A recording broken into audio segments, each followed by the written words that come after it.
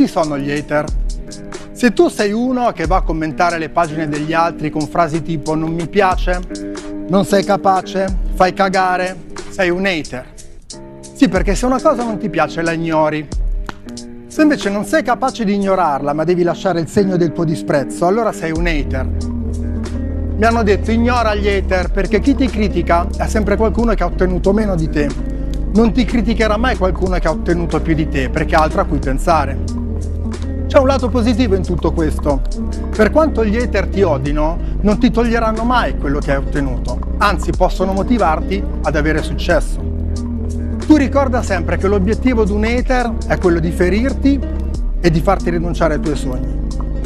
Quindi un modo efficace per ferire gli hater è quello di non rinunciare mai ai tuoi sogni.